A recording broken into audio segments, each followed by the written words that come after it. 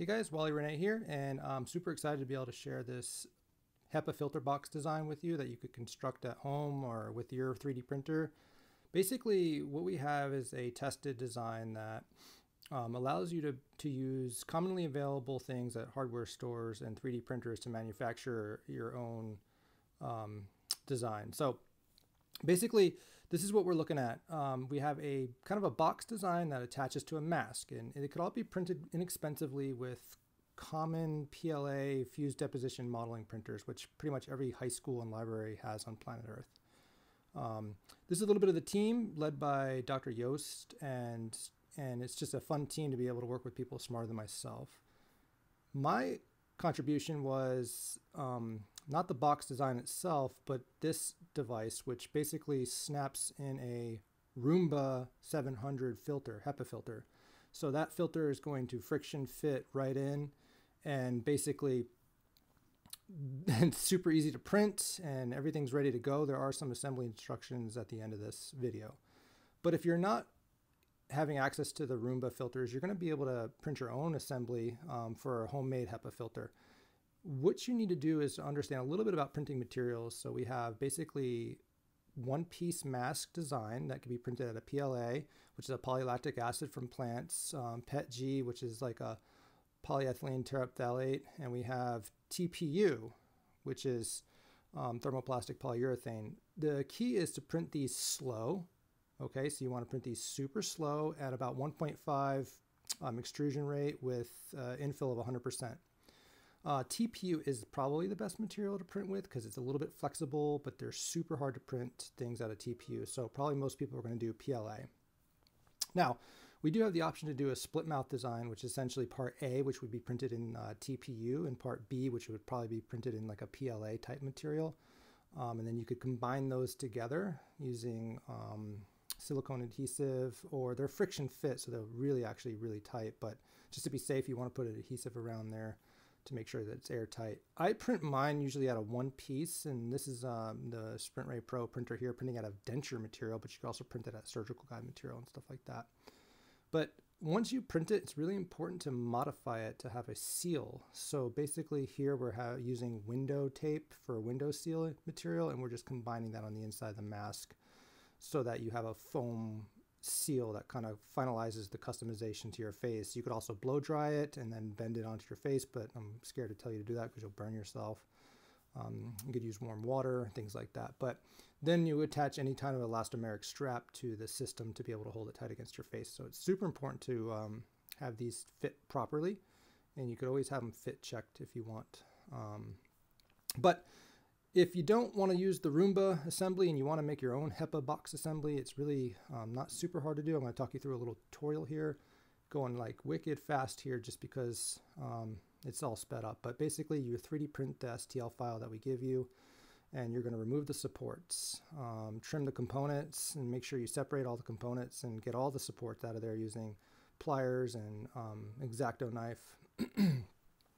remove the supports from the vent valve and then kind of bevel back the tubes a little bit, make sure there's no rough edges. Same thing for the vent valve cap, clean the openings, um, remove the valve um, supports, which are kind of a little bit tricky. You have to get in there with the little needle nose pliers and pop them out so that um, the vent valve is fully clean of supports in there. Okay, and then the next set thing that you need to do is make sure that you trim up, especially if you're printing with a raft, if you decide not to print it with a raft, you don't have as much cleanup to do. So I kind of recommend not printing with the raft. Um, just leads to more work, but we had a raft here, which would be like a worst case scenario. So you have to trim that away from the, that's the valve front, I mean the assembly front, and this is the assembly cap. So you have four pieces there. So the next step is to now cut a HEPA filter. So these filters you get at Home Depot or anywhere, uh, Lowe's, you're going to mark a line one inch away from a bead line. Um, you'll see like little bead lines on these filters. These are like little hot glue lines, and you can't really see it here because of the overexposure, but there's a little glue line right there. And so basically you measure one inch away from that, and you're going to cut you a piece that's too tall, which is okay. It's going to be too wide and too tall. And then what you're going to do is you're going to roughly count 10 folds. So it gets you 10 folds, And then you're going to remove the glue from two folds on each side. There's the little glue bead that you're going to pop off.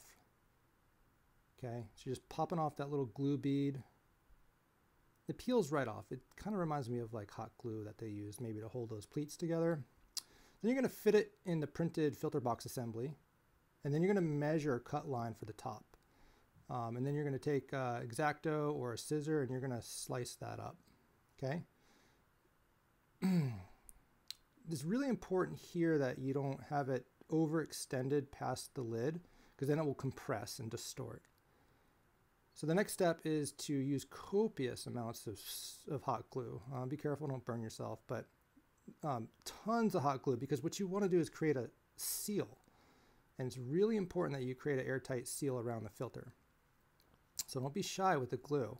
You're going to put it all along the, the sidewalls as well. And remember, the, the tip is hot and these are thermoplastic, so you could distort it if you're not careful. So here we're just um, sealing the edges. And um, once again, we're going to actually seal the other side. Take your time here.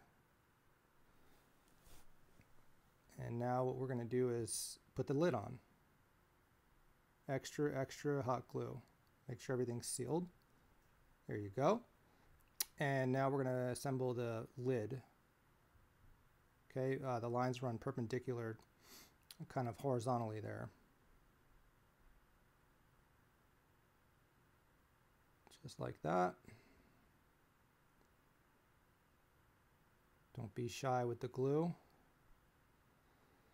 Okay, so basically set that aside. Uh, you could clean up the flash and stuff if you want to for aesthetic reasons. It, it, functionally, it serves no purpose to clean up the excess glue flash. And what the next step is we're going to have to prepare a little rubber valve cap. and so you're going to set that aside, get your rubber glove. You could use any kind of rubber glove. And you're, we're going to send a little template that you're going to be able to cut the glove But in the meantime, uh, if you don't have a template, you can kind of measure to fit. This is actually the uh, most technique sensitive and critical part of this whole thing because the valve has to fit nice and flush and it can't be distorted because if the valve's distorted, then air is going to leak in when uh, negative pressure occurs. A little dot of super glue and just set it right there. Make sure it's not pressing too far forward against the um, device. Make test, test it to make sure it, it's nice and easy. Now be careful here with the hot glue. Just a little bit you're just to fit that cap and you should be ready to go. So here's what it looks like finally assembled. And we did have this fit tested, um, make sure that everything was sealed. That is it, guys. Uh, have fun with the files. Tell me how the Roomba uh, 700 works as well, and let me know how these things are going.